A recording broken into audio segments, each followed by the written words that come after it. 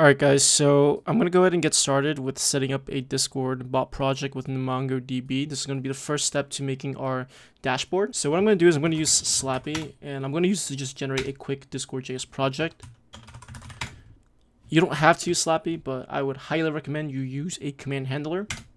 So, alright, let me paste my bot token, and the prefix we're actually just going to ignore. I'm going to do dollar sign, but watch what I'm going to do in just one sec. Okay, so I'm going to go ahead and open this up, and you can see that my bot token is right over here inside my .env file, as you can see. Okay, but I'm going to get rid of the bot prefix because this bot is going to work on multiple different guilds. It's not going to work on only one guild. And you want to give the opportunity for uh, your users to change the prefix. So that's why you want to get rid of this. If you don't want to have a custom prefix, you can leave this here, but we're going to get rid of that.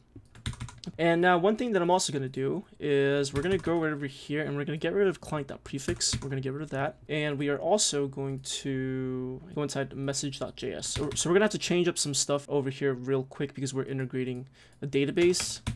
Okay, so before I do anything else, we can just do npm i mongoose. So we're going to install mongoose and you need to make sure you have MongoDB installed. This is the official website over here. And you can just download community server and yeah, it's very easy to install. Okay, I'm using a tool called MongoDB Compass to view my database. So it should be pretty easy. Alright, so now that Mongoose is installed, what we're going to do is we're going to create a folder called database. And I'm going to create a new folder called schemas. Because we might have multiple schemas. I'm going to call this guildconfig.js. And what we're going to do is we're going to import Mongoose. And we're going to create our schema. So we're going to first do const guild config schema equals new mongoose.schema. And we're going to go ahead and just declare our field. So we're going to have the guild ID, which is important. It's going to be a string. So schema types, that string. That's how you give a type for this uh, field. We're going to say the require it is required and it's going to be unique. So that way we don't have multiple documents that have the same guild ID. You don't want that. Every guild should have its own guild configuration. Should only have one. We're going to do prefix type mongoose schema types and we'll do string as well. Uh, required is going to be true, but the default is going to be whatever default you want. We're going to do exclamation mark. Okay, so now these are the two important ones. You actually don't need the prefix. You will only need the prefix if you want your bot bot's uh, prefix to be configured. But if you don't, then you can just delete this. But let's say, for example, if I want my bot to do custom logging, or if I wanted to give an auto role, we're going to make sure we define those fields over here. So let's say, for example, uh, let's do default role and we'll do type. So the type is going to be a string, of course, but what exactly are we going to be saving? We're going to be saving the actual role ID to the database. The required is going to be false because we don't actually necessarily need it. By default, the only two things that should be in the database for this document is the guild ID and the prefix, which is the default one. Later on, the user can actually configure these things on their own with the dashboard. So we'll leave the required as false, and I think we'll do one more. Let's do uh, member log channel. And we'll do type and it's also going to be the same thing just like that. And of course you can add more fields. Uh, you can save let's say for example you can save uh, the deleted message logging channel if you want to but we're only going to do these two just for simplicity and we can add more later. The last thing I'm going to do is simply just do module.exports equals. We're going to do mongoose.model this is going to compile down the schema into a model we call it guild config guild config schema. There we go. All right, so now we're going to go ahead and generate an event. So slappey gen event. And we're going to generate the guild create event. So just generate that. And this guild create event is going to be triggered whenever the bot joins the server. So you want to basically save the guild configuration when the bot first joins the server. Okay, so we're going to go ahead and import guild config from, this should be inside database, schemas, guild config, just like that. And what we want to do is we want to save the configuration to the database. So we're going to simply do const guild config equals await because this is going to return a promise guild config.create.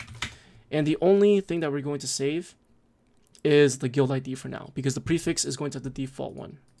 Okay, so guild ID maps to guild ID.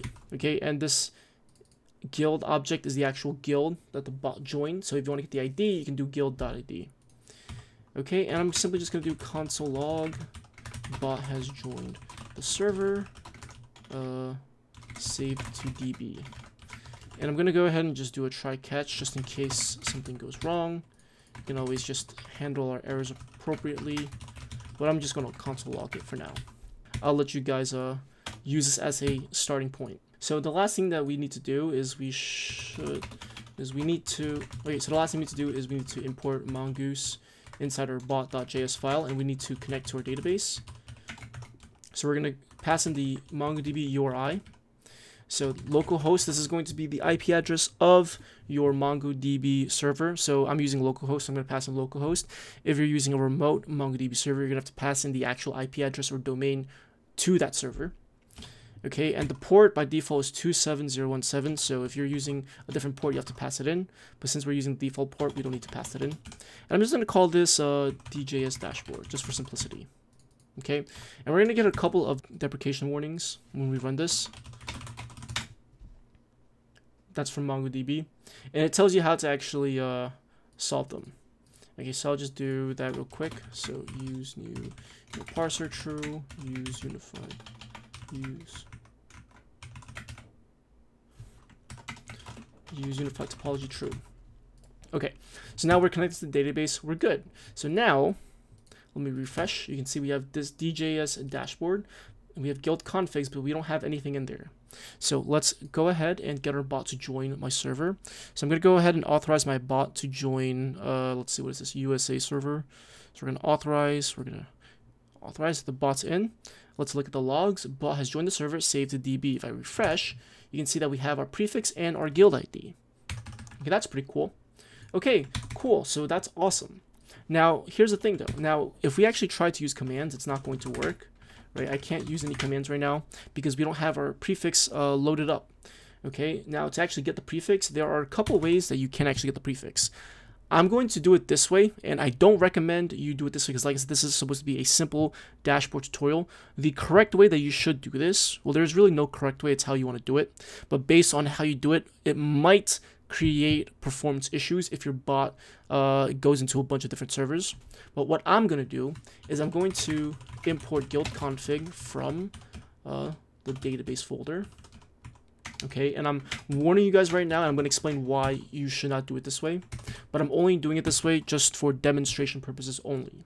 Okay, so what we're going to do is every single time the message is sent, we are going to just get the prefix from the database. The reason why uh, this is terrible to do is because let's say for example if you're in a, if your bot is handling so many different servers, you can imagine that there's going to be many different message events that are going to be emitted every single time.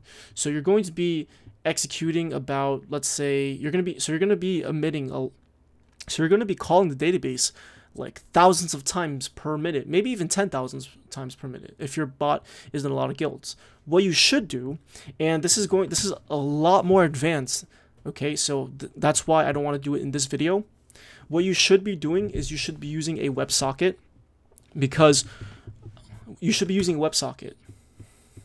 And the reason why is because, let's say, for example, if your prefix is updated on the API, on the dashboard part, how is your bot going to know the prefix is updated? Okay, so ideally what I would personally do is I would basically fetch all of the prefixes okay? I would set the prefix when the bot first joins the server and i would have a websocket connection connecting from the discord bot to the express application. So when the express application updates uh, a value in the database, we're going to send a message through the WebSocket connection from the API server, the Express server, to the Discord bot. So if it was a prefix that was updated, uh, our bot will know that the prefix was updated, and it can update the cached value of the prefix. Okay, but like I said, uh, that is way too advanced, and I don't want to make this super complicated.